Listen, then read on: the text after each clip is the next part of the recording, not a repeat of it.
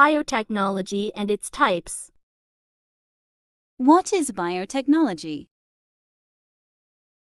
Biotechnology is defined as the use of live organisms or biological systems in industrial processes. It is a science-driven industry sector that uses live organisms and molecular biology to produce healthcare-related products. Biotech companies also develop therapeutics or processes like fingerprinting. Biotech is best known for its role in medicine and pharmaceuticals, but the science is also applied in other areas such as genomics, food production, and the production of biofuel.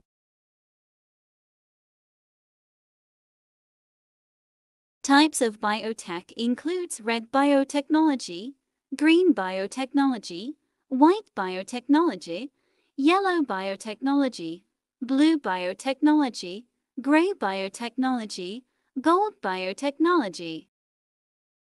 Today, biotechnology pervades all aspects of our daily life. It affects the foods we eat, the safety of the water we drink, the clothes we wear and how we wash them, the medications we take.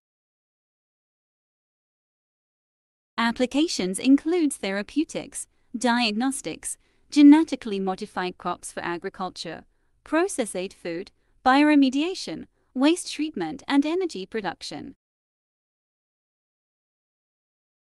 Gene therapy uses sections of DNA, usually genes to treat or prevent disease applications of the new biotechnology is gene therapy, the insertion of normal or modified gene into host, which can be done for various purposes. A common application is creation of genetic lines of animals with characteristics useful in research and medicine.